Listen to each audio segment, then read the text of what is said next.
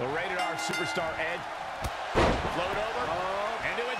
That could be it. Things don't look good for Bray Wyatt. Man. Is this what he needs for the win? This is a huge opportunity for Ed. Edge did it. Edge did it. Here is your winner,